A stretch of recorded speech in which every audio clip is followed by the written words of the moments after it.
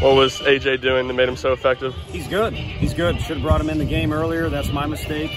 Uh, but he's good. And uh, he's also building a little confidence. You can kind of see a little bit more relaxation and a little bit more swagger, whatever you want to call it, as he gets out there more and more often. But he's always been a kid that's blessed with good composure. At least he pays attention to that category, maybe, and has good composure as well. Went wrong for Beam today, and what went the decision to kind of go with him in the fifth? Yeah, fastball location was probably, um, you know, the thing that was off that I know of, just from, you know, paying attention from my end. Maybe there was something else. Um, and then the fifth inning, pitch count was down. He, he put up his first zero and kind of had to look in the eye like he was determined. And he, you know, we get the first hitter out, but um, it didn't work out our way there. And then it kind of steamrolled or uh, spiraled, however you want to phrase it. It's been a pretty stark difference in his numbers at home and the road. Is there anything you point that to? You know, just... I don't know because it wasn't the case last year, and that's a bigger sample size at this point, at least by one weekend. Um, and of course, he was good in California. It's a neutral site game, so um, for me, he's given us a chance to win every time out. Uh, just the last two weekends, this weekend, uh, and then the previous time we are on the road, uh, didn't have his best stuff, and also, you know, had some unfortunate things happen. Was uh, Chase Burns available this weekend? Uh, he was sore, so it was kind of day to day. So there were moments where we were, you know, talking about it, and moments where we're not. So he'll be fresh and ready to rock and roll next weekend. What type of spark did Cal give you both behind the plate and then at the plate? Yeah, he was good. I mean, that was a swing that put us right back in the game, and you guys brought up the fifth inning. You know, we feel like it's, um, you know, a tie game, five innings left to play on their field, and, and they get the at-bat in, in, that inning. Uh, it was going to be a big one with the top of the order. And so didn't go our way. Could have made a couple better pitches. Could have maybe made a little bit better uh, stuff on defense, and then a uh, better job by me as well what was kind of the message of the team out there right after the game? I know you'll talk more, you know, heading home. Yeah, um, you know, just to make sure they handle business. We got to start a new week, which means classroom finals begin this week.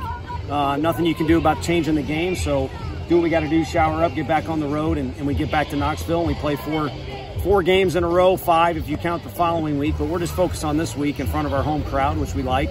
Um, but there were some things to take away. There's always something to take away and uh, maybe one on offense and, and maybe one just as a team.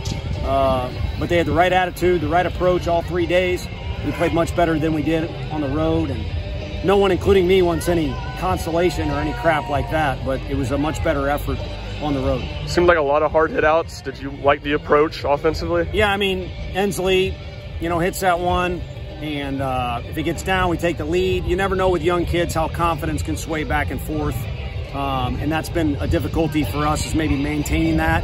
And again, this weekend, even though there were some quirky things happen and some difficult things and we made some mistakes, the guys kind of maintain that pushing forward approach. And that's what you got to keep in this game because it will not go your way sometimes, no matter, you be Trout, you be whoever you want. It's not going to go your way sometimes. Jared Dickey, another three hits here today. I mean, he's been huge at the top of the lineup and, and played well this weekend. What, what have you seen from him? Yeah, more than anything, a couple of those at-bats today were just determination. Um, you know, we kind of got a chance to uh, tie the game there with a guy at second base, two outs, and he hits the ball off the pitcher's shoe. Um, it wasn't like he cranked it or anything. He did hit it hard, but just trying to shoot it through the middle and, and tie up the ball game with a quality at bat. And then at, there at the end, um, you know, just to get on base, he took two bad, or I'm sorry, one bad swing, uh, and then fouled a good pitch off and just did whatever he had to do to battle. And it was a good approach with two strikes. Uh, hit one with uh, kind of seeing eyes there tough weekend for Blake at the plate. Just what do you see go wrong for him? Um, just outside of himself. You know, Frank chimed in. Um, you know, to him, your head's going to move a lot when you're, you're, when you're running at the baseball. And um, unfortunately, we didn't see the swing that took place in BP uh, the prior three days because it's probably the best one fundamentally uh, that we had going on in BP. With all due respect to everybody else, but um, for whatever reason, had, a, had looked like he was trying to conquer the world today and that's kind of the flip opposite of what we just talked about. Um, not that Dickey did everything right and Burke didn't, but uh, you know, just kind of trying to get the job done has been a theme that these guys have attached themselves to the last three weeks, where we've been playing a lot better baseball. Last one, guys. Griff getting a couple starts on back-to-back days. Uh, what have you seen from him at the plate, and, and how close is uh, Tears? Yeah, he gives us maturity, and, and KT was available this weekend. Um, you know, a little hesitant. It's it's good. We bought him some more time, kind of like the other guy we mentioned. Uh, maybe a situation or two we should have used him. Uh, but now at least we know going full forward he's he's full strength, uh, despite the fact we didn't use him this weekend when we possibly could have. Thanks, Thanks,